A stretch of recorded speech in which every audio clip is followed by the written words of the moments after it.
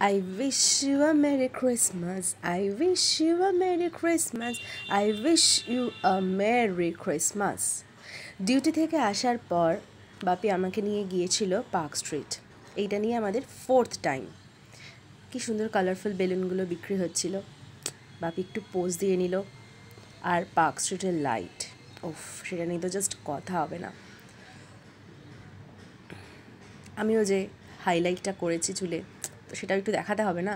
তো সেই জন্য বাপিকে বললাম, তাহলে এবার তুমি একটু আমার ভিডিওটা করে দাও।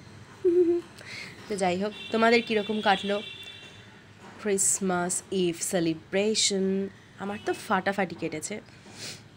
আর পার্ক স্ট্রিটের লাইট সত্যি প্রত্যেক বছর একই দেখি, কিন্তু তাও প্রত্যেক বছরই যেন ভালো লাগে। প্রত্যেক বছর যেন মনে হয় কিছু ইনোভেটিভ কিছু হয়।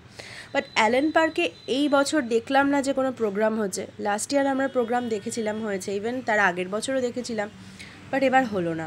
আমি পোস্ট দিচ্ছিলাম, কিন্তু তাও এত লোকজন যাচ্ছে ওফ কি ডিস্টার্ব হচ্ছিল। তারপর হলাম চলো আর্সেলানে খাওয়া যাক। তখন বাজে রাত সাড়ে বারোটা।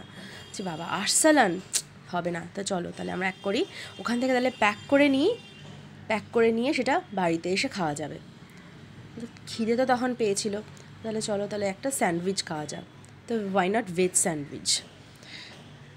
Truly বলছি, এই দিল্লি চাটওয়ালা ফাটাফাটি স্যান্ডউইচ করে, ফাটাফাটি। মানে আমরা আমি এর আগে চিজ স্যান্ডউইচ খেয়েছি, এটা নর্মালটা খাইনি কর্ন দিয়ে। বাট ট্রুলি অসাম তারপর বাড়িতে এসে ড্রেস চেঞ্জ করে ফটাফট চিকেন টিক্কা কাবাব গলদ গর্ধন করলাম।